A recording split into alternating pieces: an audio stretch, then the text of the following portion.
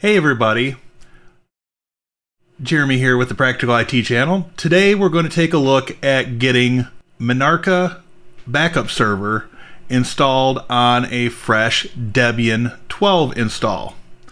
Now this Debian 12 install is a server version and I didn't give the VM a lot of space, but we can remedy that in a future video.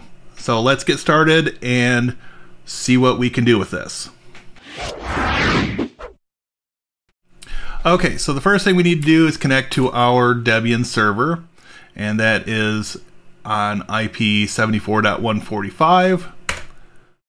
And as you can see, it does say Debian GNU Linux. We run uname dash A. We'll see that it's Debian 12 with the 6.1 kernel, and we are set to go. So the first thing we need to do is do updates. So we're going to do sudo apt update um, sudo apt upgrade dash y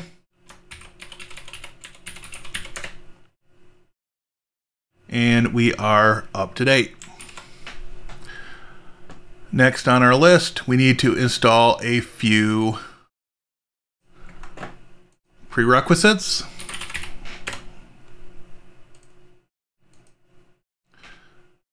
So we need apt transport HTTPS, CA certificates, curl, and LSB release and GPG. So we'll go ahead and get that installed. We'll add our dash Y to the end. And we are good to go. The next command we need to do is going to be a curl command to install the Minarca GPG key. So we're actually going to switch to the root user temporarily for this.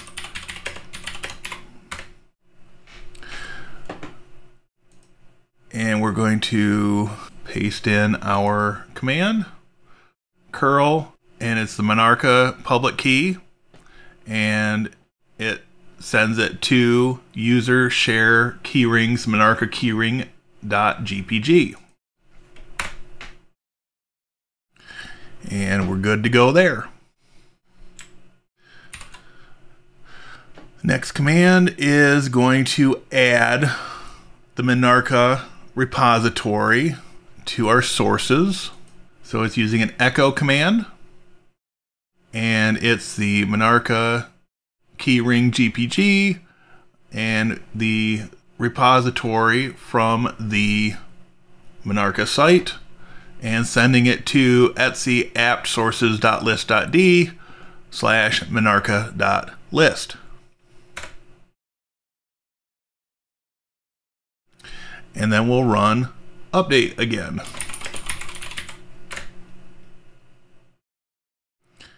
And then we will install the server with apt install minarca hyphen server.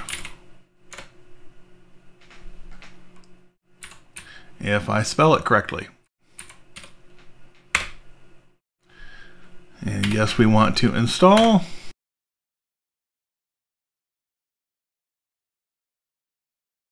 And as you can see, one of the components it uses is RDiff backup, which has been around for quite some time.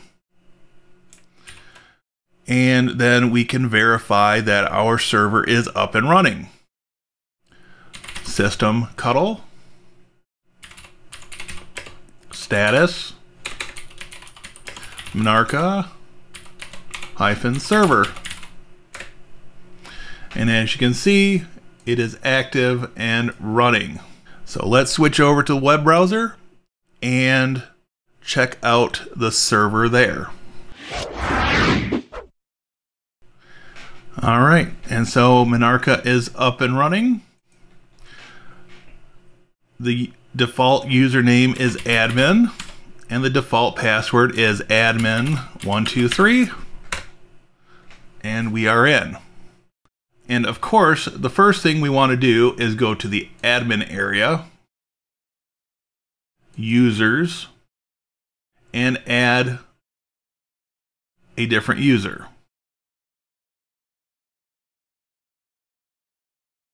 We can leave the root directory blank.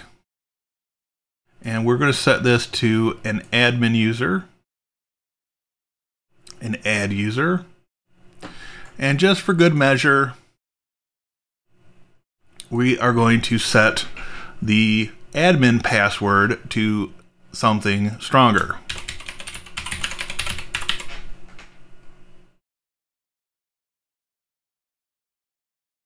Okay. And so we are going to go ahead and log out. We'll log in with our newly created user.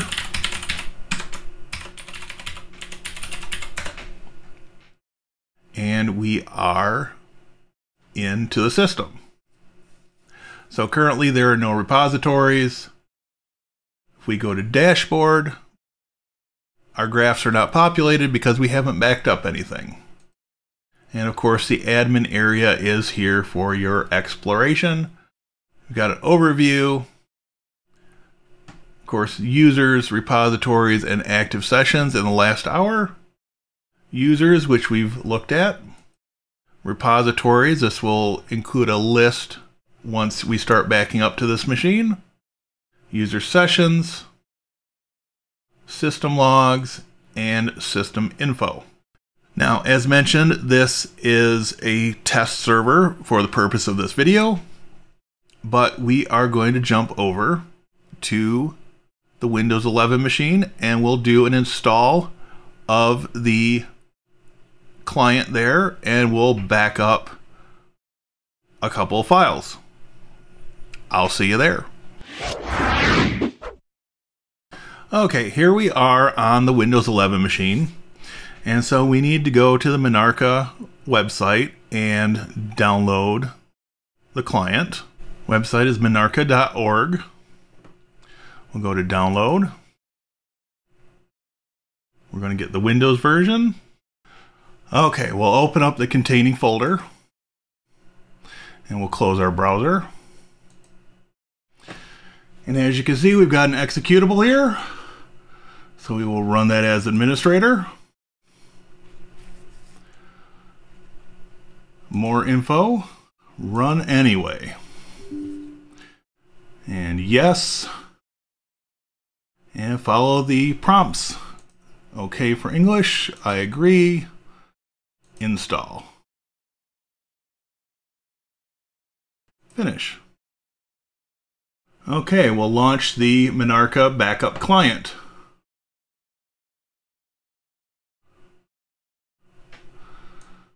Okay. So it gives you a prompt down here.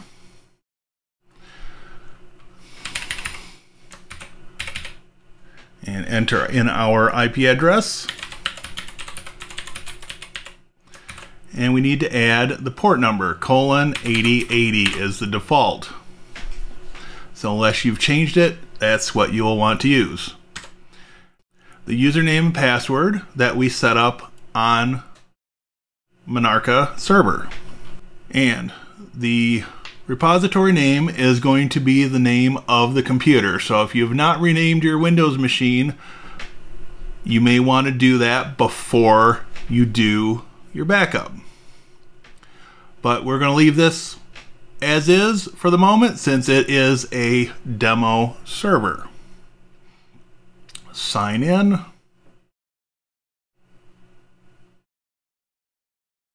And it says no backup yet, and last backup is unknown. So in the client here, we can go to select files, and by default, users documents is selected. And you can obviously add any of these others, or you can add a folder or add specific files to your backup. We're going to accept the default for this purpose and say start backup. And I believe there's only one file on this, so it should go pretty quick. So let's jump back over to our server. All right, on our server, you can see that we've got a backup, shows our oldest backup and the highest average duration. So 0.035 seconds or 0.035 minutes.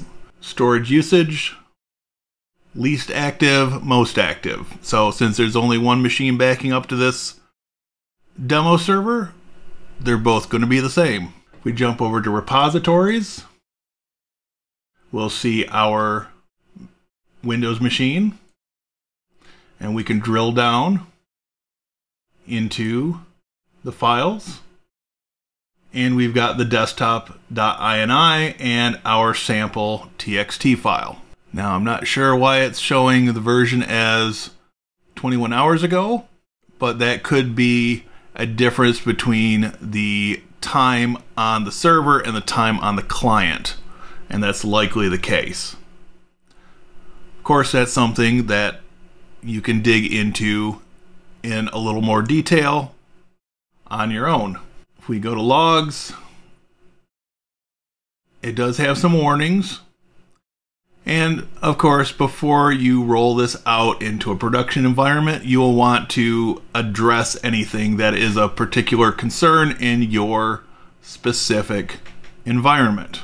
Some of these may be able to be corrected and others might be fixed in a future version of Minarca.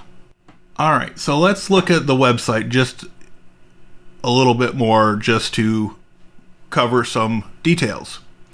So Minarca is free and open source. From the download side, you can see that Windows, Mac OS, and various Linux distributions are supported. Now, one thing I should point out, and I have been in contact with the developer, the information you see on the download page here on the website is in need of an update. If you look at the docs specifically, it will show you more up to date information on versions. So if we look at installation, on Ubuntu or Debian, you will see that Kinetic for Ubuntu and Bookworm for Debian are in fact supported. One of my other questions for the developer was whether or not the Mac OS client is supported on Apple Silicon. And the response I received was that due to powers beyond his control, uh, it is more difficult to test and make sure things are fixed on Apple Silicon versions of macOS without having an Apple Silicon Mac. So your mileage may vary if you're running a newer Mac system. However, as it's open source, hopefully people will continue to test this on Apple Silicon Macs, report bugs, and if you're a developer please, by all means, get involved and offer fixes. Unfortunately, I'm not a developer, and my usefulness in this area is limited. However, I did spend a period of time as a software quality assurance tester, and so I am more than willing to help test on Apple Silicon Macs. I do have an M1 Mac Mini. So we've got a nice lightweight backup server and client that runs cross platform Linux, Windows, Mac OS, with the caveat that your Apple Silicon Mac may experience some crashes of the client. Hopefully, as time goes by and more people get involved in the development, then we may be able to have a more stable client on newer versions of macOS that are on Apple Silicon. All right. What do you think of Minarca? Do you have any questions? Do you have a use case where this may come in handy? Personally, I'm testing this out to, for a potential rollout at my day job. We are going to have some machines that can easily be repurposed to be a backup server. And I think this would be a good use of existing equipment. Again, we are in a predominantly Windows environment where I work. And so the client will not provide any significant hiccups as we've seen so far. So tell me what you think down in the comments. If you haven't done so already, subscribe to the channel, give me a thumbs up, and I will see you in the next video. Have a great day, everybody.